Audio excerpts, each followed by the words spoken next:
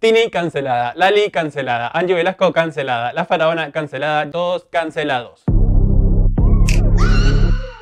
Cancelar está de moda, pero ¿qué es cancelar? Según el diccionario es dejar sin efecto o valor una cosa. Y básicamente es eso, cuando un artista se manda alguna cagada, es como que dejamos de darle bolas y consumir su producto. Hay cancelaciones que sobrepasan internet, como puede ser el caso de Juan D'Artés, que por haber sido acusado de violar a temas Fardín, fue expulsado de todos los medios. Pero hay cancelaciones innecesarias como la de Lali, que se hizo rulos y la cancelaron. La Nación. Lali Espósito se mostró con afro y la acusaron de apropiación cultural. Y acá amo porque dice, Lali Espósito con rulos y en ropa interior enloqueció a sus seguidores. La actriz y cantante compartió una foto que hizo arder Instagram.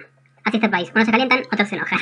También está el caso de Ángela Torres que la cancelaron por hacerse trenza. Ángela, no seas racista, guacha. Ten un poco de solidaridad con nuestras hermanas negras y cuestionate tu privilegio blanco. Salí de tu privilegio de mujer blanca y sacate esas trenzas que estás apropiándote de otra cultura. Apropiación cultural. Sacate eso, privilegiada blanca. Eso para mí tiene más sentido porque bueno, es algo parte de la cultura afroamericana. ¿Mis trencitas? ¿Eres africana, Amanda? No, señorita directora. ¿Permito peinados así en mi escuela? Mi mami dice que son bonitas. ¿Tu mami? Es una tonta. Pero lo de los rulos como que no, no lo entiendo porque todos tenemos rulos, yo tengo rulos y me dejo el pelo largo, tengo como pelo afro. Así que básicamente nací cancelado. Hablando de la comunidad afro, también tenemos el caso de la faraona, que en un video dijo como que es la mano negra del asunto. Si te pones a pensar, la frase tiene como una connotación negativa, pero como son frases como que ya tenemos incorporadas de toda la vida, básicamente, y no te das cuenta. Pero bueno, la faraona la recancelaron, le dijeron blanco olor a culo. Hablando de la faraona, la vamos a tomar como ejemplo de persona 100% cancelable, o sea, ya perdí la cuenta de cuántas veces la cancelaron. Esto también habla de nuestra hipocresía, porque cancelamos a personas que dicen cosas que nosotros decimos en nuestras casas o que nuestra familia y amigos dicen, pero los cancelamos por el hecho de ser figuras públicas. También hay cancelaciones pasajeras como es el caso del demente, que fue acusado nada más y nada menos que de pedofilia. Esto hizo que desapareciera solo tres meses de las redes y cuando volvió llenó un Luna Park. Básicamente todos se olvidaron de lo que supuestamente hizo.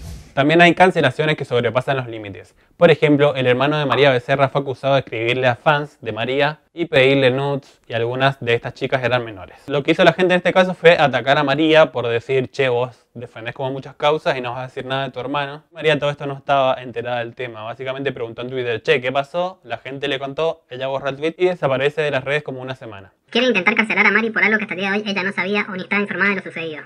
Me habló redolida por esta situación y acá hay más de una que le tira mierda por cada idiotez. La piba siempre se rompió el orto para ayudarlas a que estén bien, abriéndose una manera que ni siquiera con nosotros, sus familiares lo hizo contándoles sus experiencias para que se cuiden y ahora la van a cancelar por preocuparse por esta situación. Preocuparse es no defender, ocúpense de sus vidas y dejen de intentar jodérsela a los demás. Y acá es cuando aparece Alexis, que era su novio, y cuenta en Twitter que María había tenido un intento de suicidio. Hola chicos, quiero decirles algo que Mari misma me dijo que les informe ya que tenemos mucha confianza y me encargo de esto.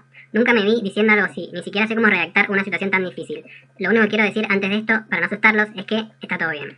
Mari ya hace un tiempo está pasando por situaciones muy difíciles en su vida en las que siempre trató de salir adelante y ser fuerte, pero la tristeza y la debilidad le ganaron. De ayer intentó quitarse la vida tomando muchas pastillas. Su hermana la encontró en la cama inconsciente a tiempo y la llevaron al hospital. Estuvo internada unas horas, pero ahora le dieron alta y está en su casa. Por suerte no pasó mayores. Debido a esto estará inactiva por un tiempo en las redes sociales. Les pido por favor que tengan respeto y empatía hacia ella, hacia Ale y a su familia. Y hacia la situación. Lo único que nos toca ahora es mandarles buenas vibras y mucho cariño. Esto para que tomen dimensión de lo que puede causar una cancelación en una persona y en su entorno o su familia. Porque posta es muy difícil para esa persona que tiene relación con la persona cancelada. Porque pasa también que, por ejemplo, cancelan a una persona y atacan también a todo su entorno como obligando a su entorno a dejar que tengan relación con esa persona, pero o sea, no puedes dejar de tener relación de una con tu hermano, ¿entendés? Eso causa muchos conflictos. Y las cancelaciones son mucho más grandes cuando viene de una persona que no lo esperabas. Por ejemplo, Justin Bieber hizo una publicación apoyando a Chris Brown que fue cancelado de todos los medios básicamente por golpear a Rihanna. Lo que decía la publicación es que debemos perdonar los errores del pasado, pero o sea, golpear a una persona no es un error como perdonable. Pero lo que voy es que J Balvin comentó en este posteo una manito. Nada más que una manito. Y adivinen si la bronca fue más a J Balvin que a Justin Bieber. Porque Justin Bieber ya no esperas nada, es como que ya sabes, una basura y no esperas nada, es como que bueno. Pero J Balvin todo el mundo lo ama y de repente que apoye a Chris Brown es como que... J Balvin se la daba de distinto y salió a bancar a Chris Brown en el post de Justin Bieber. Ahí está el aliado que tanto respetan y quieren. Él también cree que golpear mujeres es solo un error. Mira bebé, yo te amo, pero a partir de hoy quedas cancelado. Deja de apoyar la violencia y todo lo que hay a tu alrededor. Y regresamos.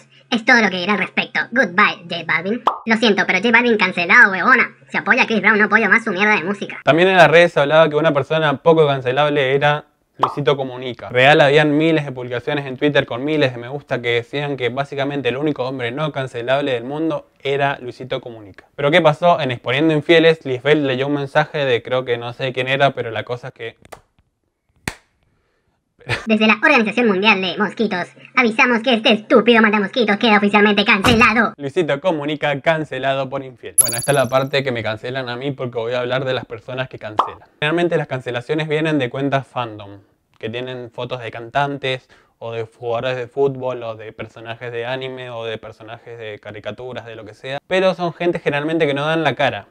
Entonces es fácil como juzgar a alguien sin que la gente sepa quién sos vos porque no pueden decir, che, estás cancelando a alguien por decir negro, pero vos mataste, no sé, a un perrito, ¿entendés? Como que no, no hay posibilidad de un, un ida y vuelta. Las cancelaciones también vienen de personas que son como líderes de ciertos movimientos. O no sé si líderes, pero han alcanzado cierta notoriedad en algunos grupos y siente que están en un nivel alto de desconstrucción en el que básicamente pueden juzgar a las demás personas por no estar tan desconstruidos como ellos. Hace unos días el fandom de Angie Velasco creó el Angie Velasco It's Over Party. Básicamente lo hicieron en joda, pero mucha gente aprovechando la tendencia aprovechó para tirar su mierda ahí y depositar todo su odio, que básicamente no merecía. Bueno, este hashtag se usa para varios artistas.